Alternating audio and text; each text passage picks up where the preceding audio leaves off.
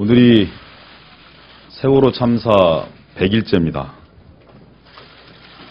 유가족들은 여전히 단식 농성을 하면서 특별법 제정을 요구하고 있고 그리고 안산에서 수많은 시민들이 도보로 이곳 여의도로 향하고 있습니다. 유족들과 유명을 달리한 먼저 간 학생들에게 부끄럽고 싶지 않습니다. 아, 심판하고 싶었습니다.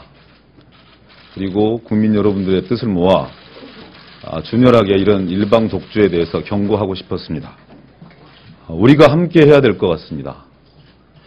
아, 박근혜 정부에 대한 준엄한 경고와 아, 새로운 서울의 변화로 시작된 아, 전국적인 변화의 출발 이런 부분들은 한 개인의 문제가 아니라 그것을 열망하는 모든 분들이 함께 해야 되는 그런 문제라고 생각합니다. 그래서 아, 후보직을 사퇴합니다. 아, 모든 것을 내려놓겠습니다.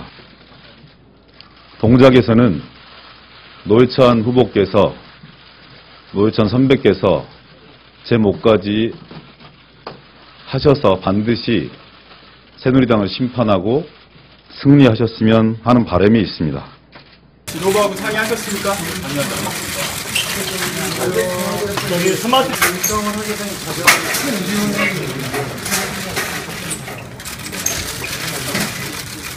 여권이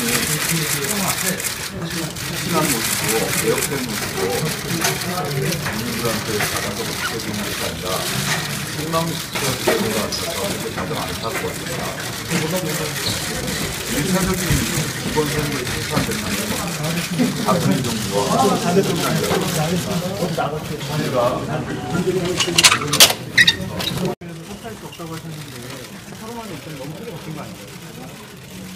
제 마음속